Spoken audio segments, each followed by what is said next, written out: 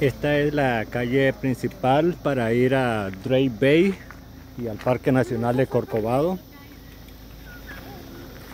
Y hemos encontrado un perezoso de tres dedos cruzando esta carretera. A los conductores, por favor, pasar con mucho cuidado este camino, ya que la fauna puede estar aquí, igual como un perezoso también puede haber un jaguar, un puma, otras especies.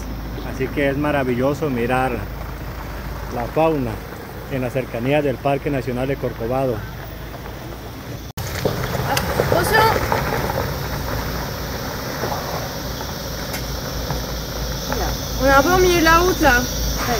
Edwin Pomares Pavón compartió este video donde se aprecia a un perezoso de tres dedos que iba cruzando la carretera en Puerto Jiménez en las cercanías del Parque Nacional Corcovado. Los conductores de vehículos se detuvieron para observar y esperar que el perezoso cruzara de forma segura al otro lado de la vía.